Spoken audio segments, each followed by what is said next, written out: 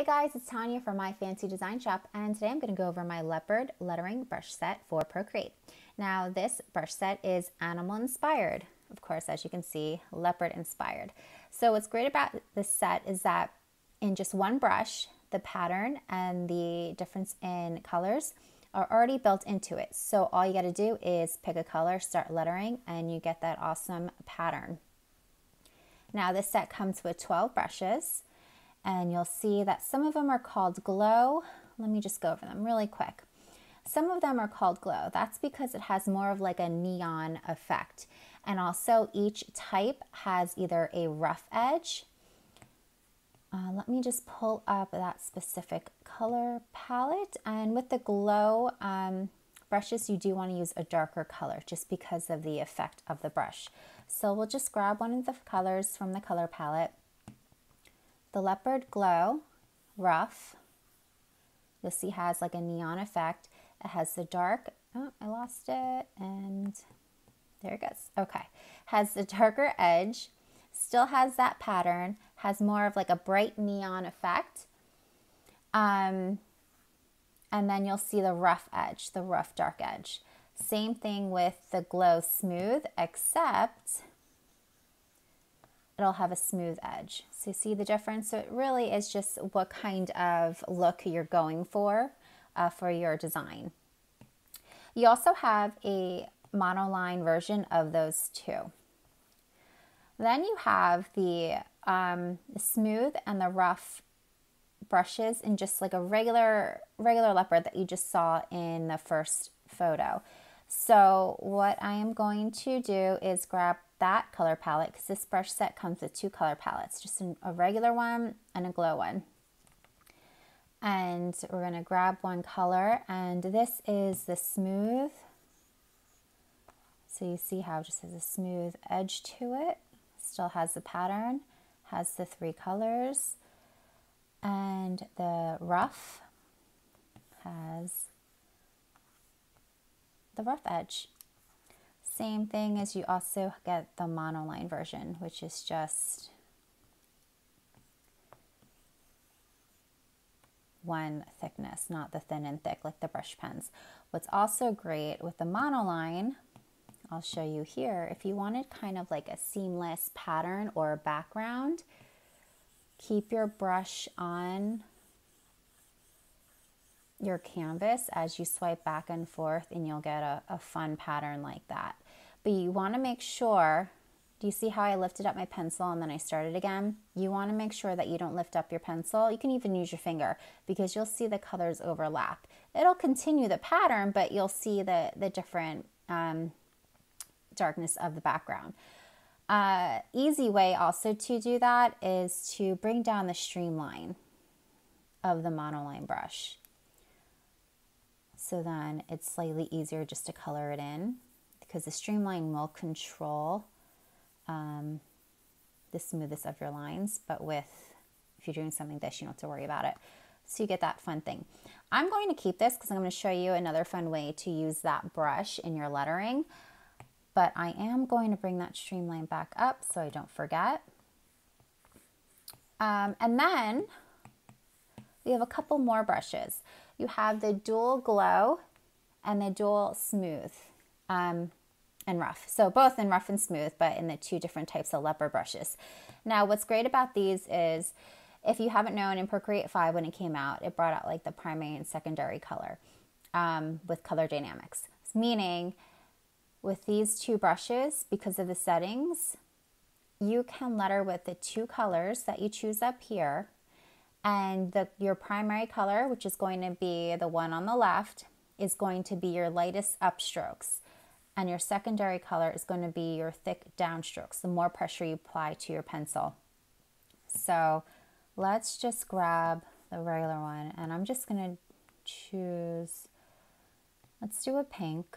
Hopefully this is a big enough color difference. So you'll see how my upstrokes are that orange. My downstrokes is that, yeah, it's like a purple pink.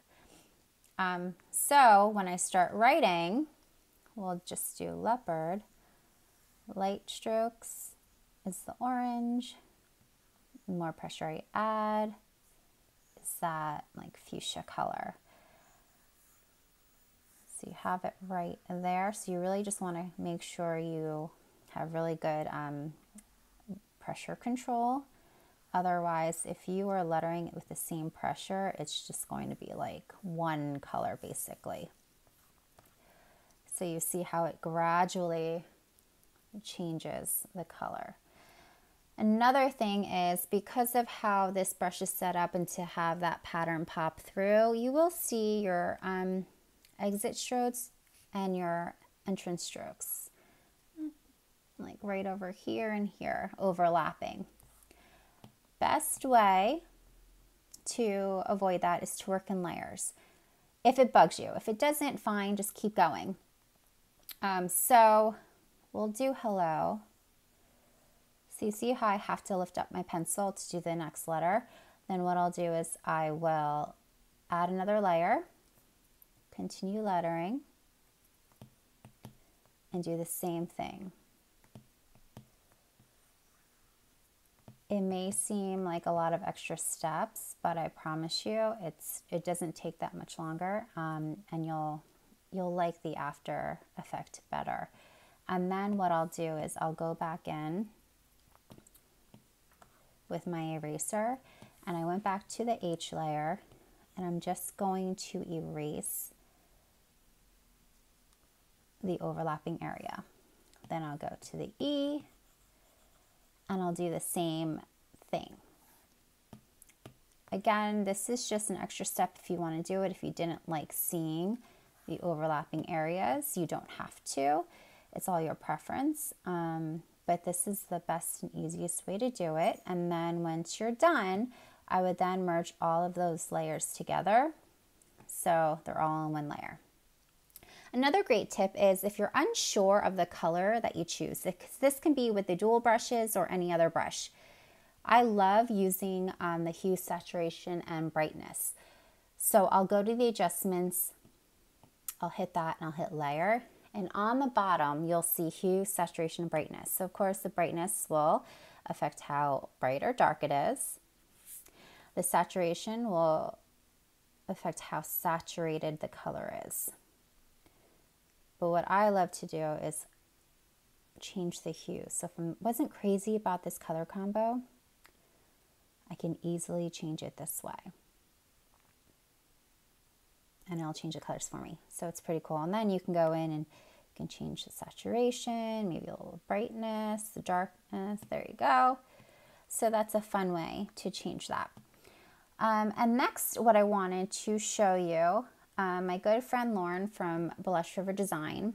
She was using my leopard set and she said, You know what? I found out a way to get the background color different. It's just a few extra steps.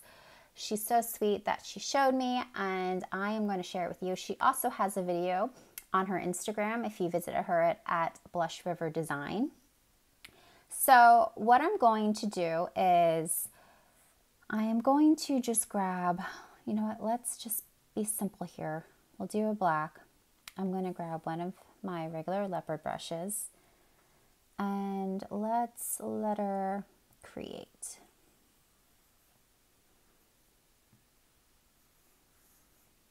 Okay, so we have that. Next, if we wanted, you see how now this is kind of like a gray scale. We have the black and then two versions of the two shades of gray. Say we wanted to change the spots or the background. What we can do is duplicate the layer. So now you have two layers. On one of the layers, I'm just going to keep the top one. I'm going to tap on it so the layer menu comes up. I'm going to hit select, open up that menu again, click on it, and I'm going to hit clear. So now you can see that it cleared out the spots, which means now this layer is going to control the background layer or the background color. Okay, next I'm going to go down to the second layer. Same thing, I'm going to tap on it. I'm going to hit select. And at the very bottom, you're going to see like another menu pop up. You want to hit invert. Okay? And then you're going to go back up to your menu. Make sure you tap on that same layer and you're going to hit clear. Now you'll see is part of the background is a little bit lighter because it was clearing the background. You're still going to see a shade of it, um, but do you see the difference? I'm going to move them really quick and then move them back because you really want to keep them on top of each other. But do you see what we just did is on this layer we cleared the spots and on this layer we cleared maybe like a layer or two, like a shade or two of the background. Okay, so you always want to make sure that they are on top of each other. Now you can, if you want, label them so we can rename them. This one, background color. Oh no, this is a spot color. See, maybe that's good that we're labeling it. Uh, spot color. And then this was our background color. Okay. So we have that. Now what we can do is maybe change our spot color. Maybe we want to change it to a hot pink. So we can grab that, make sure alpha lock is on, and you're gonna hit fill. And you have your pink your pink spots. Maybe we wanted to change this a little. Let me see if I should, maybe I should have used a color. All right, so let's just make that easy and we'll do like a lighter gray. But that's how you change if you want a different color, like for the spots in the background. I'm going to show you another one really quick too, because I probably shouldn't have used black to letter it. So let's just stick with um, the pink. And I'm just going to write hi, so it's a little bit quicker. Okay, so we letter our word. Uh, we duplicate it on one, we hit select, go back, hit clear. That is going to be our background color. And then we're going to go to the second layer. We're going to hit select, go down to the bottom, hit invert, go back to the layer, tap on it, hit clear. And this is going to be our spot color. Yes, I'm fully aware I misspelled background. okay, so here we have our spots. Here we have our background. Okay, so let's do this. Let's change our background color. Again, easiest way, I'm making sure that layer is highlighted. I'm going up to my adjustments. I'm going to hue, saturation, brightness, hitting layer, and I'm going to go down to hue. And there we are changing. Do you see how it's changing the background color? So let's do like a peachy color. We can bring up the saturation a little. We can even make it darker, lighter. Let's make it a little bit lighter. Okay, let's go to our spot. Hit hue, saturation, brightness layer, and we can even change this. So let's let's make it like real drastic. Let's go blue. Okay, and there you go. There you have it. So you have the two different colors that is the easiest way to do it if you wanted the different colored background and a different colored spots. Um, and then what you can do ultimately is just merge those two layers together. If you know that you're absolutely done, you don't want to change anything else, um, and you're about to save and everything. Otherwise, you will have to, I mean, you could hit undo, but you would might have to just start all over. Um, I think the last thing I want to go over is remember how we did this seamless pattern with the monoline brush and bringing that streamline um, setting down to make it easier. I just want to show you why. Another way that you can do to add this leopard print to your lettering. So I am just going to add a layer. You can honestly use any color. I, you know, I'm going to stick with black. And I would just use a regular brush pen. I'm just going to use my brush pen for my basics set. And let's write um, love because that is another one of my go-to words. Okay, so we have that. What you then can do is you can um, show that layer of that seamless, seamless brush pattern. And what now we can do is we can kind of resize it. So kind of it's just over our lettering. And then what we can do is hit clipping mask. And you see how then you have your spots. And then you have the color in the background. So then what you can do on your lettering layer, alpha lock it, and then you can just pick a different color if you want and change the hue, saturation, brightness of it. And then you can even change the layer of the pattern and that color as well if you wanted to. So you see, so now you have like a purple and blue. And that's another fun way to get the leopard design on your lettering um, if you just wanted to use it as a clipping mask. So you see how we did our lettering, we added that pattern on top and we just clicked on it and hit clipping mask. And so the only areas that you're gonna see this leopard pattern is where, where your lettering is. Um, so that's basically it. If you have any questions on how to use the set, please feel free to reach out to me. Um, you can send me a message here on YouTube. You can find me on Instagram at My Fancy Design Shop. And um, yeah, I really hope that you enjoy this set. It was a lot of fun for me to create it and um, to share with you guys. So I will have all of the links of where you can find this brush set down in the caption. And happy lettering!